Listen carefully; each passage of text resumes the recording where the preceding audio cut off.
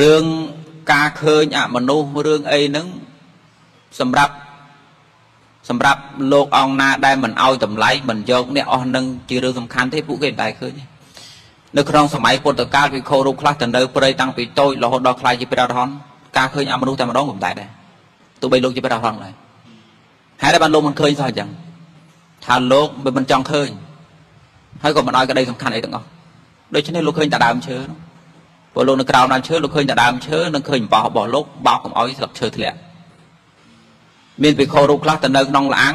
60ឆ្នាំនៃការនៅលាងរបស់លោកសំបីតែងាកមើលអញ្ចឹងលោកមិនងាកមើលផងអញ្ចឹងនឹងមានរូបអីគេលោកខ្ជិលងាកមើលផងសួរថាទៅលោកទៅឃើញអមនុស្សពីណាពួកលោកវាមិនຕົកក្នុងចិត្តប៉ុន្តែពួកឯណាដែលឲ្យក្តីសំខាន់ឲ្យក្តីសំខាន់ក្នុងរឿងនឹងប្រកបរបរអាជីពជាគ្រូជាម៉ដើររកឆ្នាំដើររកខ្មោចព្រាយជាទីពឹង ជាពិសេសពួកគ្រូទាយដល់ពេលអញ្ចឹងចេះតែបដោតចិត្តទៅក្នុងរឿងយ៉ាងយូរយូរជួនកាលឃើញពិតខ្លះជួនកាលទៅខួរក្បាលវាប្រឡាស់ខ្លះសម័យសម័យខ្លះវេខ្លះបានរឿងប្រសេកប្រសាចមកកុំថាដល់ណានាសំបីតែខ្លួនញោមដល់បើញោមបដើមពេលលើចេះតែបដោតចិត្តរឿងអមនុស្សអញ្ចឹងចង់ដឹងចង់ឃើញចេះតែគិតចេះតែសម័យអញ្ចឹងមិនយូរមិនឆាប់ទេទោះបីថាអស់ក្នុងមានឬមិនមានប៉ុន្តែខួររបស់ខ្ញុំគឺឃើញហើយឃើញនៅក្នុងខួរយើងមុនគេមក ប៉ុន្តែពេលយើងគិតថាវាអត់មានតម្លៃផងវាដូចជាសម្រាមរឿងចឹងចឹងមិនចាំបាច់អីផងដូច្នេះយើងមិនតែឃើញទេយ៉ាងបានជាចម្លើយថាភិក្ខុសាមណេរខ្លះនៅក្នុងព្រៃដល់20ឆ្នាំលោករក្សាព្រៃក៏មិនតែឃើញព្រោះលោកបដោតតែរឿងការពារឈើលោកទៅឃើញអីបើលោកមិនតែឲ្យស្ដីសំខាន់ទៅនោះដល់ពេលហ្នឹងលោកមិនតែឃើញបើលើស្អីប្រោកប្រៅមកចេះគិតថាដើមឈើនឹងវិបាកតិចគេកាប់ព្រៃក្តីសម័យមានអញ្ចឹង ដល់ពេលយើងទៅដើម្បីរកខ្មោចលើដើមឈើបាក់ចេះកាត់យល់ខ្មោចចុះមកអញ្ចឹងអញ្ចឹងវាសម្បូររឿងប៉ុន្តែទោះពិតឬមិនពិតនៅក្នុងពុទ្ធសាសនាលោកឲ្យកំណត់ប្រយោជន៍ព្រះសម្ពុទ្ធមិនបានបដិសេធរឿងអស់ហ្នឹងទេប៉ុន្តែអតីតកាលកន្លងមកព្រះអង្គមិនដែលឲ្យបរិស័ទទៅពឹងពាក់រឿងចឹងទេមិនដែលឲ្យទៅភ្លុកភ្លឹកបូនមាត់បូនកថាវាអញ្ចេះចោះទេហើយភិក្ខុសាមណេរដែលមានការយល់ដឹង រៀនបរិយ័តត្រឹមត្រូវបរិបត្តិអីនៅក្នុងពុទ្ធសាសនាលោកមិនដែលទៅនាំរឿងចឹងចឹងទេលោកមិនទាំងនាំរឿងខ្លួនឯងហ្នឹងមិនទាំងនាំបរិស័ទទៅរវល់ផងបើប្រពុតមកនាំឲ្យរវល់ហ្នឹងតើភិក្ខុត្រូវនាំទៅរវល់អត់អត់ទេ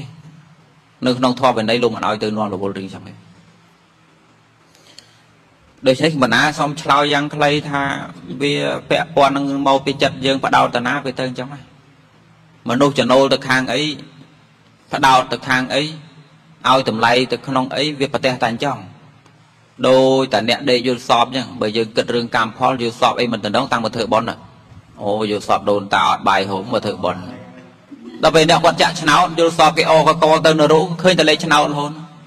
ឃើញភ្លើងឃើញដាវឃើញនៅបៃក៏នៅតែចេញលេខឆ្នោតហ្នឹងពួកគាត់បដោតទៅតែអញ្ចឹងដូច្នេះទោះបីថាគាត់យល់សពទៅស្អីឃើញតែលេខឆ្នោត ដល់ពេលអ្នកមិនរវល់ទាំងសងខាងទុយសពឃើញអីក៏មិនដែលរវល់គាត់ថាវាសុខភាពមិនដែលរវល់ក៏ហីទៅចំណែកអ្នកណាបដោតរឿងកម្មពីវរិយយល់សពឃើញអីចិត្តតែនឹកឃើញអូមានម្ចាស់កម្មម្ចាស់ពីអីមកទៀមទីអីចឹងចេះចិត្តហ្នឹងអញ្ចឹងបានថាអាត្មាកំពុងលើកថាមកពីការបដោតអ្នកចូលព្រៃដើម្បីរកខ្មោចវាត្រូវតែឃើញខ្មោចទាំងហើយ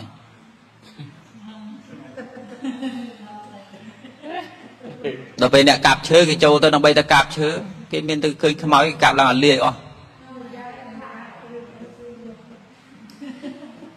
លោកលោកគ្រូមានអីបន្ថែមទេខ្ញុំឡើយ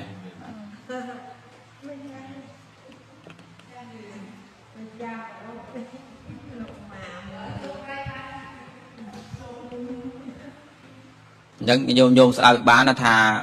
វានៅលើការបដោតរបស់យើងយើងឲ្យក្តីសំខាន់ទៅក្នុងរឿងអីយើងតែប្រទះរឿងនោះ ទោះបីពិតក្តីមិនពិតក្តីមានពេលខ្លះយើងបដោតខ្លាំងពេក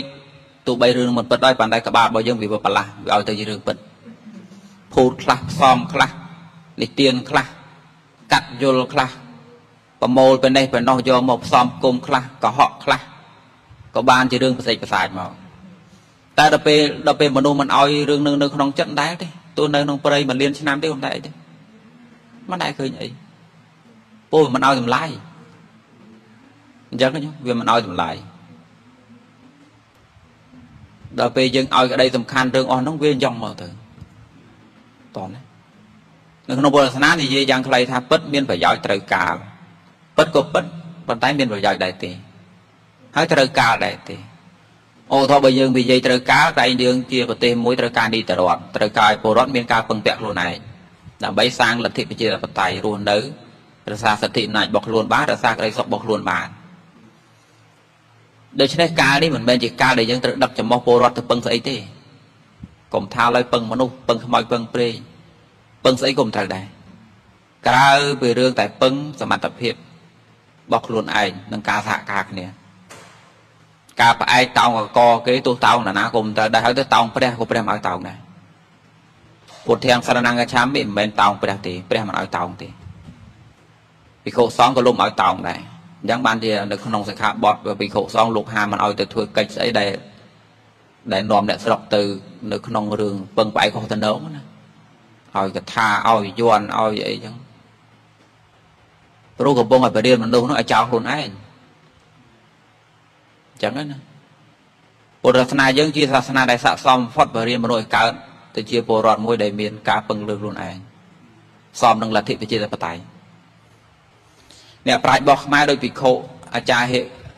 លោកគ្រូខៀវជុំអញ្ចឹងលោកសរសេរសភៅពាក់ព័ន្ធរឿងលទ្ធិប្រជាធិបតេយ្យលោកបង្ហាញថាមានតែពុទ្ធសាសនាទេនិយាយពីលទ្ធិប្រជាធិបតេយ្យមុនគេពួកបើសម្លឹងមើលនៃការរស់នៅតាមច្បាប់របស់ភិក្ខុសង្ឃទាំងពីការចែកផលប្រយោជន៍ទាំងពីការសម្រេចសេចក្តីទាំងពីការបោះឆ្នោតប្រជាមតិទាំងពីការយកមតិច្រើនជាធំទាំងពីរបៀបនៃការរស់នៅស្មើភាពគឺជាទម្រង់នៃលទ្ធិប្រជាធិបតេយ្យ